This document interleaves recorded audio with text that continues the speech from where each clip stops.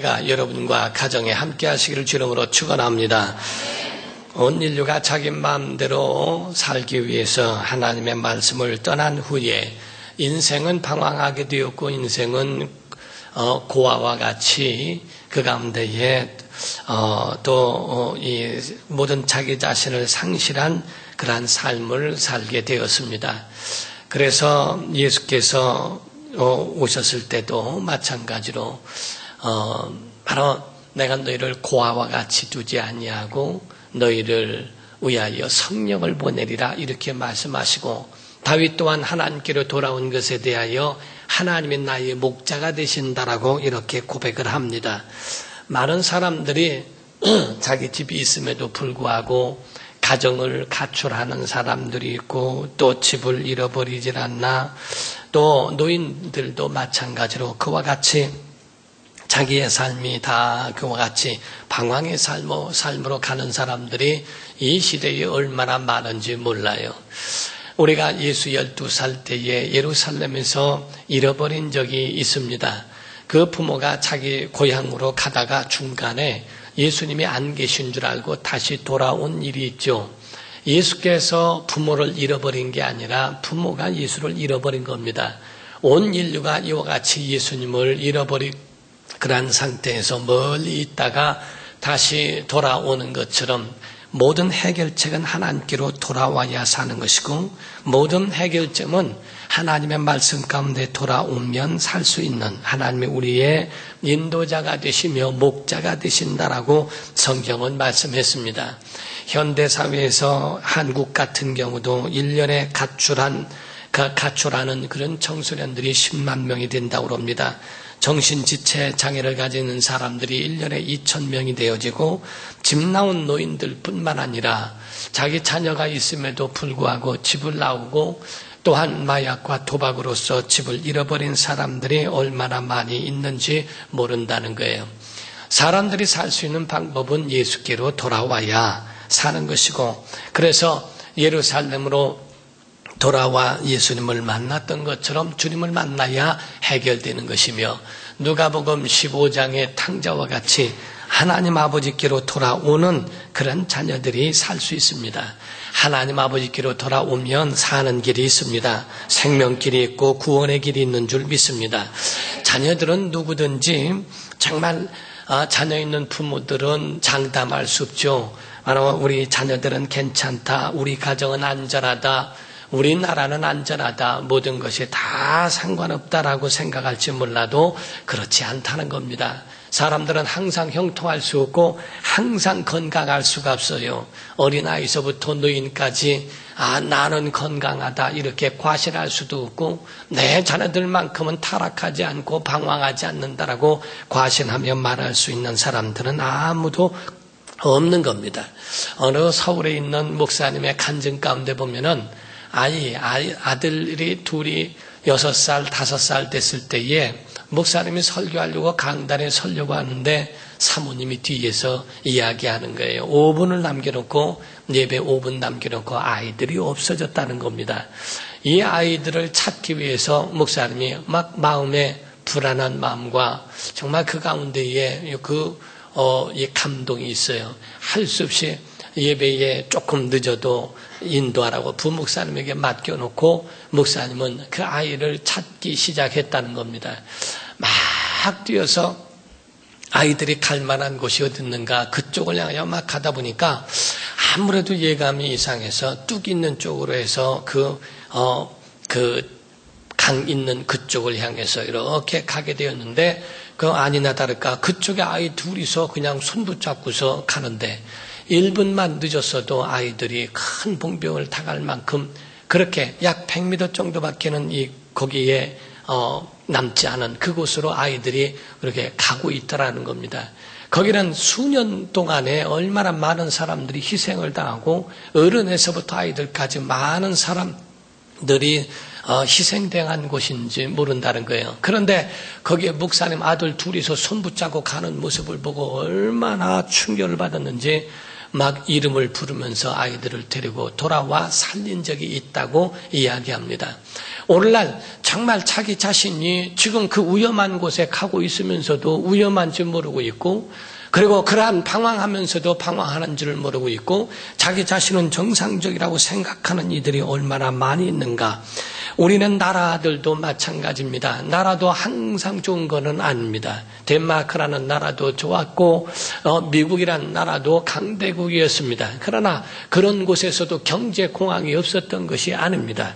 정말 휘청거릴 때가 있고 흔들릴 때가 있는 곳이 바로 나라도 나라라도 전혀 예외가 아니라고 하는 그 사실을 말합니다. 강대국인 나라도 그러할진데 한국이란 나라도 언제까지나 경제 10위 안에 들어갈 수가 없어요. 언제든지 개인적으로 여러분의 가정에 항상 몰락이 없고 가정이 가정에 어려움이 없다라고 말할 수 있는 그런 자신 놓고 말할 사람은 아무도 없는 겁니다. 덴마크라고 하는 곳에서 그 경제 공황이 오고 막 모든 사람들이 방황하고 할 때 나타났던 사람이 그룬트비 목사님이라고 하는 분이었습니다. 160년 전의 일이었는데 바로 거기에 그때의 그룬트비 목사님은 3회 운동을 했어요.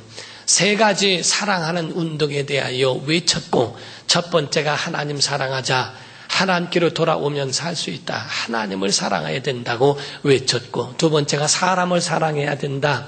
사람의 인권이 얼마나 중요하고 사람의 인권이 얼마나 소중하다는 것에 대하여 외쳤으며 세 번째로는 환경을 사랑해야 된다고 말한 겁니다. 자연과 모든 환경에 대하여 부르짖으면서 그 세 가지의 삼의 운동이 덴마크를 살렸고 엄청난 많은 사람들이 예수 앞으로 돌아와 회복되는 역사를 보았는지 모른다는 거예요.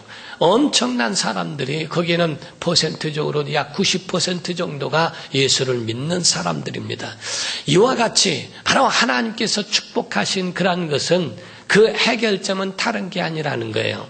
하나님을 떠난 탕자와 같은 인류가 하나님께로 돌아올 때 우리를 살리시는 하나님, 우리에게 생명을 주시고 우리에게 은혜를 베푸시는 그 하나님께로 돌아올 때 산다고 하는 것을 이야기합니다.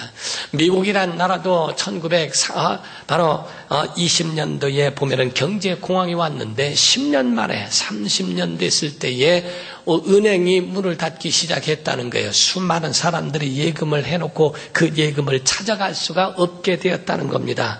은행이 파산을 하고 31년도에는 바로 2,300개의 은행이 문을 닫았다는 겁니다. 그렇게 할 정도로 그 후로부터는 한 주간에 6만 4천 명 정도가 실업자가 나오리만큼 어마어마하게 기하급수적으로 막 몰락해 가고 있는 그러한 미국에서 그때 나타난 미국의 그룬토비 같은 사람이 루즈벨트 대통령이었고 그 루즈벨트 대통령에 의하여 그분은 정말 17시간의 릴레이 기도와 엄청난 하나님을 의지하는 믿음의 기도로 말미암아 다시 한번 미국이란 나라를 세울 수 있었다라고 이야기합니다. 과연 한국이란 나라에는 이와 같이 그룬터비 목사님 같은 그러한 분들이 몇 명이나 있으며 또그 어려움 당할 때 나라를 생각하고 나라를 위하여 한 가지로 함께 모이는 그런 사람들이 공직자들이 몇 명이나 있을까? 거의가 다 개인적인 사람들이고 개인적으로 잘 살면 됐고 잘 먹으면 됐다고 하는 개인주의가 얼마나 많습니까? 세월호라고 하는 그것이 특히 딱히 하나의 사람만 되는 것이 아니라 그것이 바로 올 한, 어, 한국의 현 주소라고 볼 수 있을 정도로 그와 같이 각각 구멍 나 있고 그렇게 뚫려 있고 방황하는 것이 한국이란 나라요 또 전 세계에 하나님을 떠난 그런 모든 사람들이라는 것을 이야기하고 있는 겁니다. 사랑하는 성도 여러분, 성도들은요 모든 문제를 영적으로 풀어야 됩니다. 모든 문제를 신앙적으로 풀어야 하는 겁니다. 그 모든 문제가 육체적인 것들로서 막혀 있는 것 같아도 그 문제에 대한 원인은 영적인 거라는 거예요. 문제의 원인은 영적인 거요. 신앙적으로 풀지 않으면 안 된다는 겁니다. 우리가 이사야서 37장, 38장에 보면은 거기에 히스기야라고 하는 왕이 나옵니다. 이 히스기야라는 왕이 자기의 그 개인적인 비영이 들었을 때도 하나님 앞에 구합니다.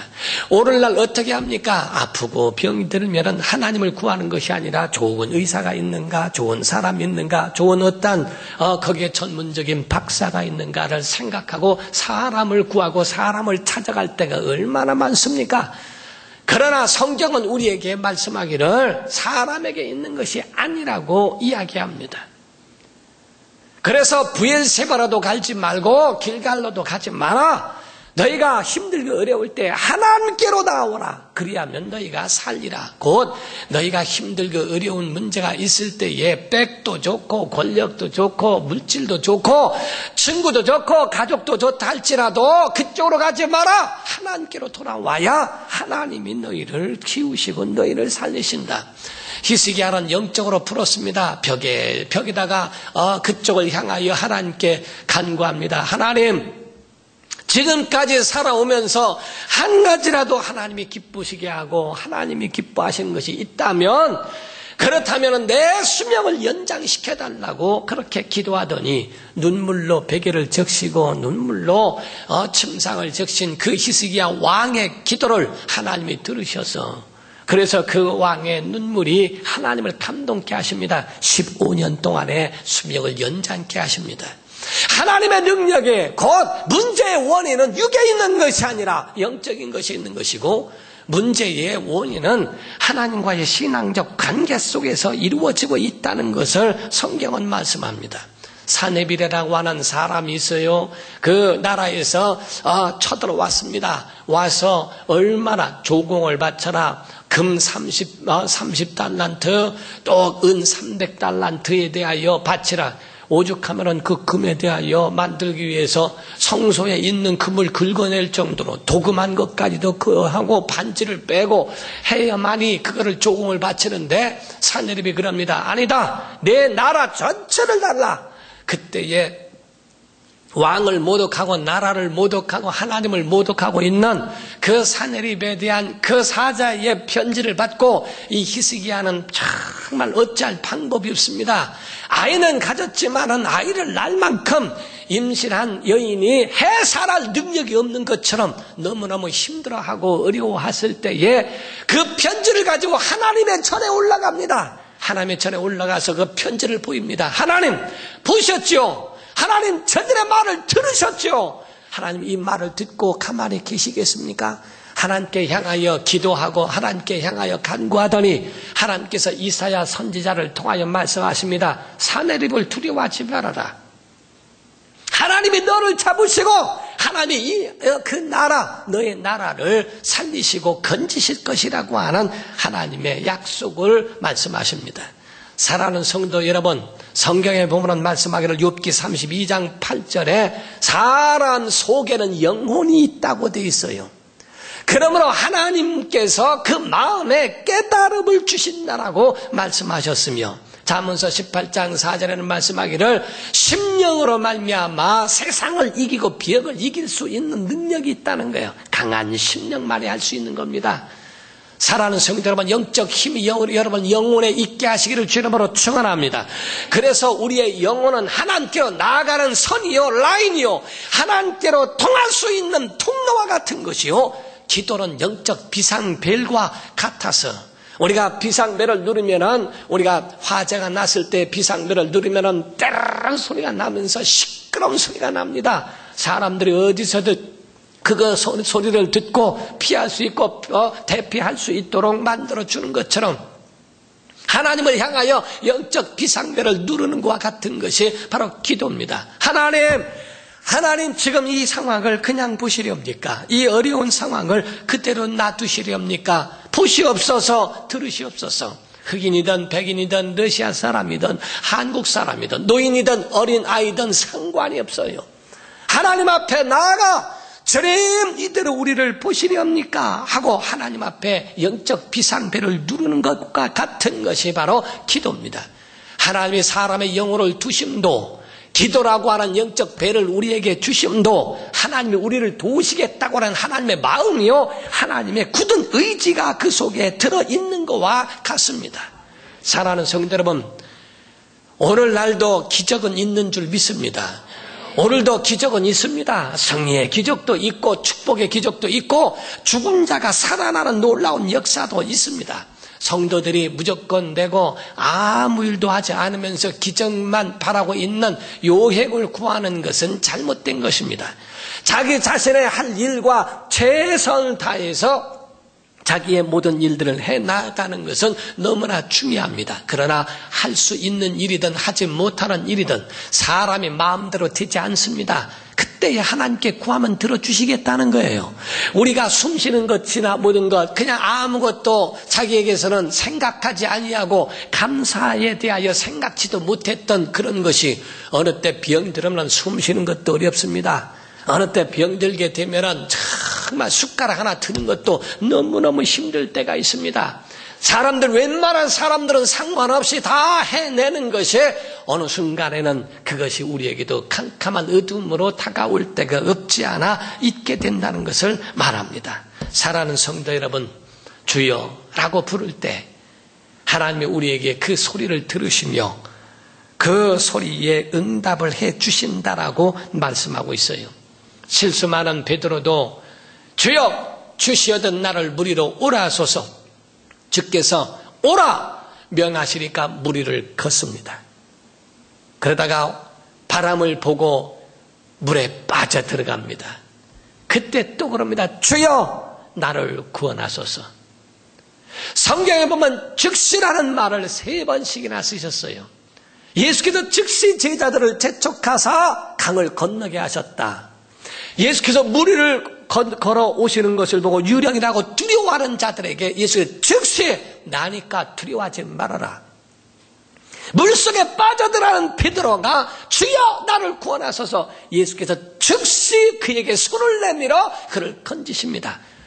그를 꾸짖거나 그를 어, 야단하심이 아니라 어, 그에 대하여 정말 어찌하여 의심했느냐 어찌하여 어, 믿음이 적으냐 하고 주께서 그에 대하여 어, 권면하면서 그 마음을 격려하는 말씀으로 그를 세워 가신다 하는 거예요. 어떤 미국에서 목회하는 한국 목사님이 계셨어요. 그 목사님은 간증 가운데 이야기를 들어보니까 청년 때까지는 자기 마음대로 살았다는 거예요. 그 어머니가 그렇게 교회를 나가라, 기도해라, 어, 주의를 지켜라 하는 그런 이야기를 수도 없이 들었는데 곁길로 갔다는 겁니다. 그런데 사고가 나가지고서 다리를 다치게 됐는데 6개월을 병원에 입원을 하게 됐는데 아무런 차도가 없더라는 겁니다. 그런데 6개월 만에 의사 선생님이 와가지고 하면서 참 젊은 사람이 안 됐군 이러더라는 거예요. 그게 무언 얘기인가 했더니 와서 다리를 소독하고 뭐하고 하더니 난 다음에 어, 느 날 이야기하더래요. 다리를 잘라야 한다고. 그 다리가 마비가 돼가지고 전혀 쓸 수가 없었기 때문에 썩어 들어가는 거를 뭐 이거 마비된 걸 이걸 그대로 두게 되면 점점 올라간다는 거예요. 이 다리를 잘라야 한다고. 이미 보호자들이 다 동의를 했고 사인도 다 받은 상태라고. 그래서 수술실로 갑자기 들어가더라는 겁니다. 갑자기 수술실로 들어가는 그때에 처음으로 진실한 기도를 했대요. 하나님 앞에 하나님 살려주시면 내가 주의 종이 되겠습니다. 그렇게 기도를 했는데요. 했는데 갑자기 다리가 아픈 거예요. 그래서 수술하기 바로 수술실에 들어가 수술하기 전에 핀세트를 눌렀는데 아 하니까 뭐라 아야라는 소리를 듣고 거기에 다시 합니까 감각이 돌아오기 시작한 거예요. 수술실에서 거기서 다시 나와서 수술을 하지 않았습니다. 그 말 한마디 그런 영적 비상벨을 누른 것처럼 그때 하나님을 배신하지 아니하고 그는 주의 종이 되겠다고 하는 그 굳은 결심대로 주의 종이 돼서 목회를 하고 미국에서 목회하는 분입니다. 기적은 있습니다. 오늘날에도 하나님의 능력이 있습니다. 죽은 자가 살아나는 역사도 있습니다. 물이 포도주가 되는 놀라운 역사들도 바로 이와 같이 주 안에 일어나고 있다는 것을 이야기합니다. 시스기야 왕도 마찬가지로 나라를 위하여 기도하고 또 자기 자신의 개인적인 것을 위하여 기도하고 할 때에 하나님이 그에 대해서 들으십니다. 사랑하는 성도 여러분, 주 앞에 부르짖는 자들에게 하나님이 응답하시며 부르짖는 자에게 하나님이 귀를 기울여 주시는 줄로 믿습니다.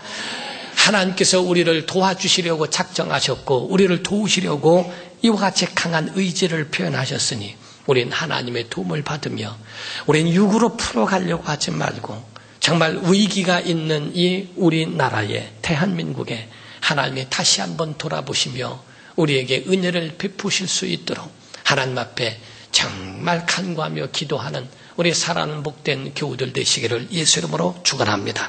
기도하시겠습니다. 이 시간에 다 같이 통성으로 기도하실 때에 하나님 정말 우리에게 큰 은혜를 주시고 하나님의 권능이 임하도록 붙잡아 달라고 언제든지 영적 배를 누르듯 하나님 앞에 기도하면 하나님이 들으시고 응답해 달라고 주님 붙잡아 달라고 간절한 마음으로 다 같이 통성으로 기도하시겠습니다. 살아계신 하나님 아버지 오늘도 주님의 전에 나올 수 있도록 은혜 베풀어 주심을 감사합니다. 아버지 하나님 우리의 영혼이 살아나게 하시고 우리의 영혼이 힘을 얻도록 도와주시기를